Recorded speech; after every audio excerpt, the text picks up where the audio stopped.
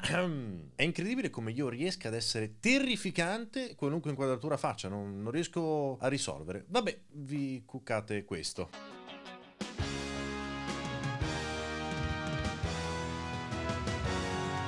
È da un po' che voglio fare questo video ed è da un bel po' che voglio raccontarvi la storia che vi sto per narrare. Ma prima due parole dallo sponsor, che poi è narrato da me, ma questa è un'altra storia. Lo sponsor di oggi è NordVPN. Per chi non lo sapesse, il VPN serve a navigare su internet in maniera del tutto anonima e naturalmente molto molto sicura. Nascondi le tue tracce, fai in modo che nessuno sappia dove sei, con chi vai, con chi parli e soprattutto quando ci parli. Molto semplice da usare, NordVPN ti permette di cambiare semplicemente tra uno stato o l'altro, così come ti aggrada. A proposito, questo video l'ho registrato io da solo, sono bravissimo. NordVPN è il VPN più veloce in circolazione. Oltre 5400 100 server in 59 paesi diversi. Vai dove vuoi, senza muoverti di casa. Vai in un qualunque paese e guarda i contenuti dedicati solamente ad esso. Questo e molto altro con NordVPN. E oltre agli incredibili sconti che potete trovare ogni giorno su nordvpn.com, se utilizzate il codice gatto sul tubo avrete un ulteriore sconto super ficcante. Link in descrizione. E ora andiamo avanti. Oggi voglio parlarvi di uno dei giochi più belli che io abbia mai giocato e di come mi sia stato portato via troppo velocemente. Così giovane, così giovane. Parlando del gioco giovane, io no. Cioè, Ovviamente sto parlando di SOS.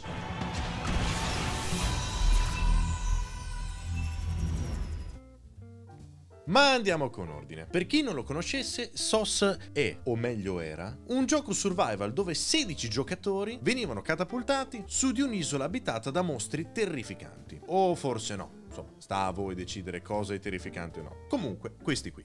Che cazzo? Cosa ho fatto? Ho lanciato l'ascia per errore. Niente, lasciami stare. Ma solo tre di queste 16 persone potevano scappare da quest'isola. Mi sa che non sarò tra i tre finalisti. Le tre persone che riuscivano a acchiappare la reliquia.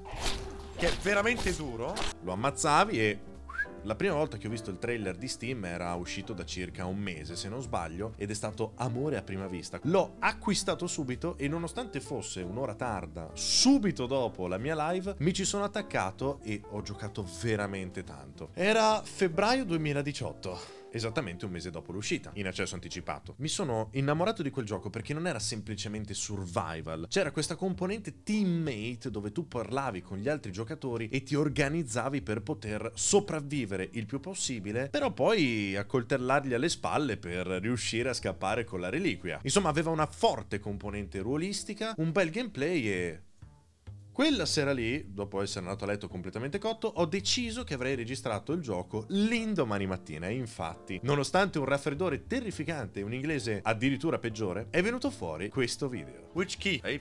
No, ho sbagliato. Non so il tasto, non so il tasto. Aspettami, aspetta, ti prego. Aspetta. Ok, ecco qua, ecco qua, ecco qua era la F. Da quel giorno direi che si è aperto un mondo. È partita la serata settimanale dedicata alla partita SOS con i subscriber. Sono io.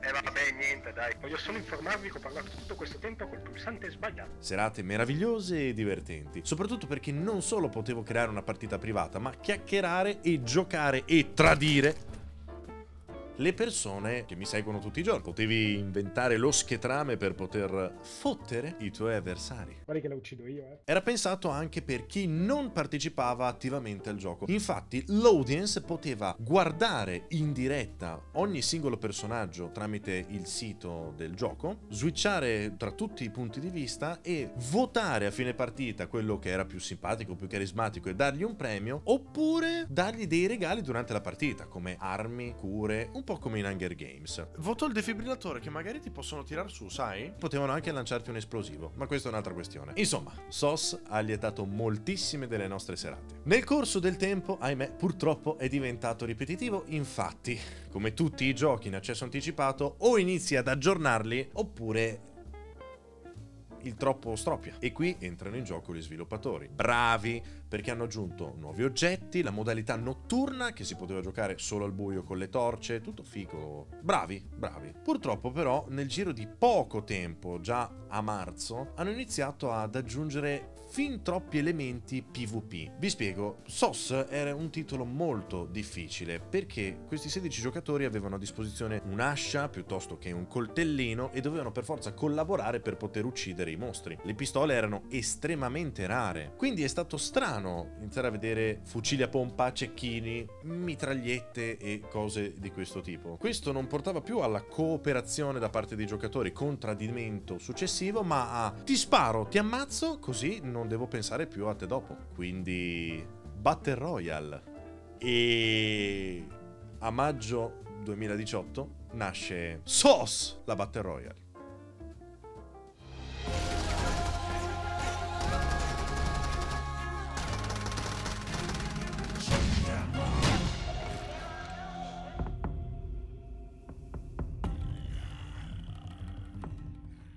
Capiamoci, da quando nel 2016 H1Z1 è uscito con la sua Battle Royale, di lì un delirio incredibile. Qualunque tipo di Battle Royale andava bene su piazza. Player Unknown, Fortnite, Island of Nine, Cuisine Royale, anche se adesso ha cambiato nome.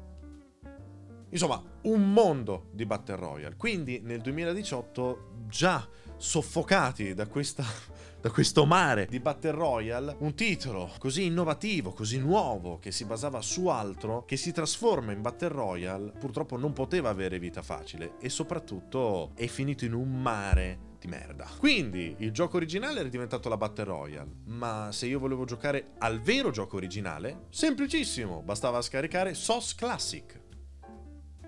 Dopo il periodo di lancio il gioco ha iniziato a lievitare il suo prezzo e quindi è uscito sostanzialmente a prezzo eh, di 30 euro se non ricordo male. Difficilmente qualcuno spende 30 euro per giocare l'ennesima Battle Royale, anche se era incluso il Classic. Quindi Outpost Game è scesa in campo e ha deciso di risolvere la situazione. Free to play, però per rendere la Battle Royale free to play hanno eliminato SOS Classic quindi c'è gente che ha comprato un gioco, che è diventato un altro gioco, che è diventato free to play. Soldi ben spesi. Ma Outpost arriva e dice: Tranqui! Hai comprato il gioco prima che diventasse una Battle Royale e prima che diventasse free to play? Ci hai dato i tuoi soldi per supportarci? Noi ti vogliamo bene e ti regaliamo dei vestiti per la Battle Royale free to play.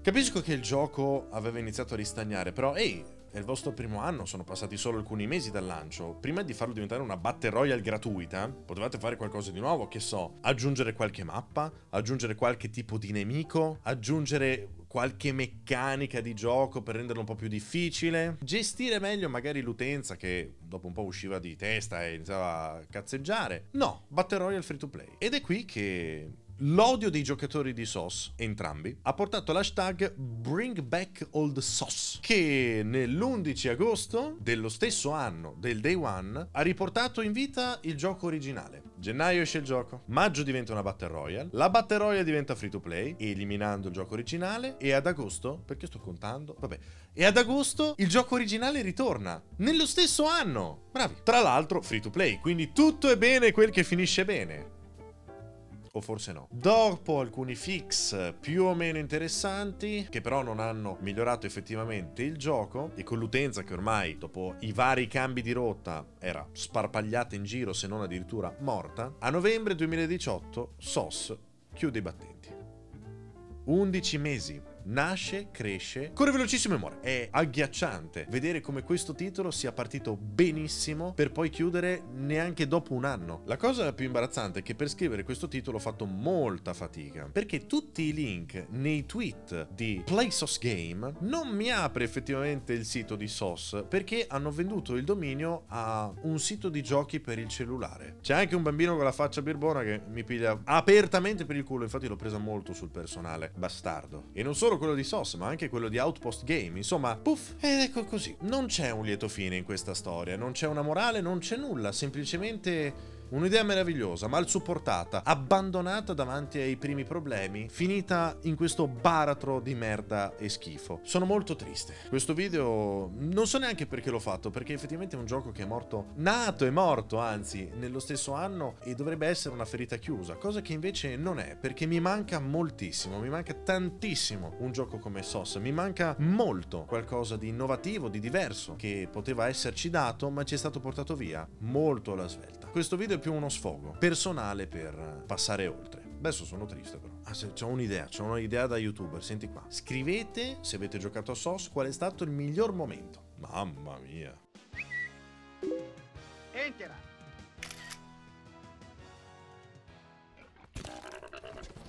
Porco cazzo. Player Jump 1, cos'è Player Gra... Player Gravity? Mettiamo 0. Porca troia. Mi sa che ho sbagliato. Qualcuno ha trovato una reliquia, qualcosa? Come funziona qua la bomba?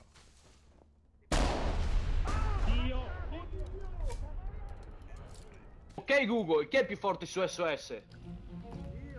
E niente. O mio cavigliere, gatto sedere. Ma, ma sì, ma vieni, ma vieni, ho vinto. Ma vaffanculo, stronzi. Tiè, ciapa qua, merde.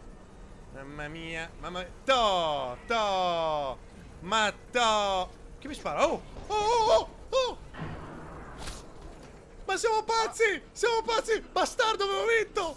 Dove cazzo sei? Dove siete? Perché siete? Allora, Accanto a te, gatto. bisogna spaccare il muro. Aia, ma allora, allora! Ehi! Il muro, mica me, imbecille! Come si accende la torcia? Ma perché questo gioco qui è andato così male? Ci giochiamo solo noi. Che peccato! Perché non è possibile che un titolo così sia andato in merda. Io sono triste. Sono veramente triste. Perché è veramente un gioco che merita. Merita di essere giocato, merita di essere apprezzato.